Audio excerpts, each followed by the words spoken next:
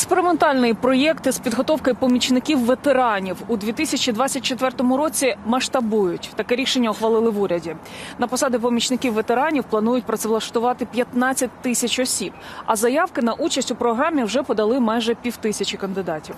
Задача проєкту зробити перехід від військової служби до цивільного життя максимально зручним та ефективним для наших захисників. Докладніше про це поговоримо з міністеркою у справах ветеранів України Юлія Лапутіна разом з нами. Пані Юлії, вітаємо. І от на якому етапі зараз впровадження інституту помічника ветерана? Е, Вітаю. Дійсно, започаткувався проект інституту помічника ветерана. Зараз вже у нас е, близько е, півсотні кандидатів і. Проєкти е, налаштовані на чотири області зараз як пілот. Це Дніпропетровська область, це Вінницька область, це Львівська область і Миколаївська. Але поки ми розпочали проєкт і запустили відповідний юридичний механізм постанови Кабінету міністрів, до нас ще долучилися і запропонували інші області. Це і Суми, і Полтава, і е, загалом ще п'ять Київ, Київська область, е, п'ять регіонів, які також захотіли долучитися до цього проекту, адже всім е, зрозуміло, що хтось має зустрічати демобілізованого нашого захисника або захисницю в громаді. Людина повертається в громаду до себе додому. Е, І е, е, буває така ситуація, коли людина повертається, а підприємство закрито внаслідок війни, а зруйновано житло і немає роботи, а родина десь за кордоном. Має бути створена така інституція супроводу людини, яка демобілізується з фронту, щоб було дуже комфортно людині е, потім. е, Не тільки приїхати в громаду, а отримати всі необхідні сервіси. Ну, по-перше, це звісно е, скринінг здоров'я. А подалі е, людина, як правило, зараз по- після поранення тільки може бути демобілізована у воєнний час. І тому ми е, розуміємо, що люди, які пройшли війну, вони мають бути також е, не тільки. Вилікувані, вони мають також бути інтегровані у все життя громади. А це і працевлаштування, це і отримання цивільної освіти, це і можливо розвиток власного бізнесу, відкриття. Тобто людина має бути самодостатня, а держава має надати їй усі інструменти. І хтось має допомогти людині інформувати. Саме це і є помічник ветерана. Зараз ветеранська політика, яка е, е, у нас нова, вона плану, планується бути таким чином, щоб е, дійти саме до рівня громад, тобто загальнодержавна інфраструктура ветеранської політики від центральної влади, від міністерства у справах ветеранів. Е, До створення відповідних самостійних структурних підрозділів у справах ветеранів окремих обласних військових адміністраціях, у районних військових адміністраціях дозволить розробити таку і запровадити вертикаль.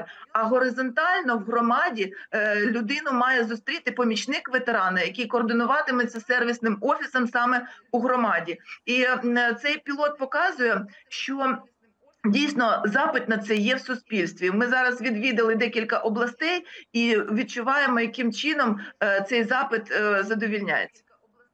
І відчуваємо, яким чином е, цей запит задовільняється. А скажіть, будь ласка, якщо говорити про кількість людей, які хочуть долучитися до цієї ініціативи, наскільки багато їх? Наразі дійсно як- з моменту старту проекту ми отримали 452 заявки, і зараз заявки ще е, проходять е, свою верифікацію. І е, показово те, що люди, які подаються, а це саме з числа ветеранів або членів родин ветерана, е, це люди з вищою освітою. 50% це люди магістри, е, і решта це бакалаври. І ем, дуже люди хочуть отримати свою нову е, фахову кваліфікацію. Ми їм запроваджуємо саме навчання у центрах ветеранського розвитку в е, обласних центрах, які ми також створюємо як елемент інфраструктури.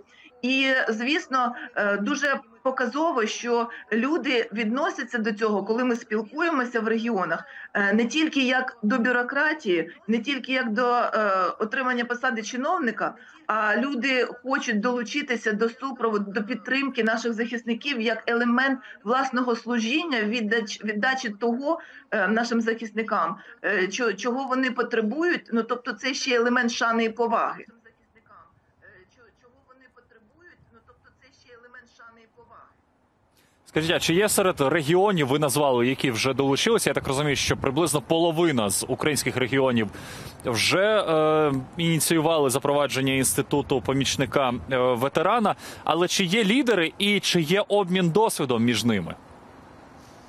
Звісно, ми е, під час нашого щорічного міжнародного ветеранського форуму напередодні Дня Незалежності е, анонсували, що наступним нашим е, кроком є, що ми йдемо в регіони з нами з нашими форумами регіональними. І ось ми нещодавно повернулися з Дніпропетровщини, де був, був саме регіональний форум з ветеранської політики, де виступали саме ті люди, які були кандидатами помічників ветерана. Виступали тренери, які навчають помічників ветерана. Дніпропетровщина як регіон прифронтовий є одним із е, базових. е, Перше е, там навіть створено ще до нашої постанови самостійний структурний підрозділ в обласній військовій адміністрації у справах ветеранів, і вони є найбільш активними у плані реалізації ветеранської політики.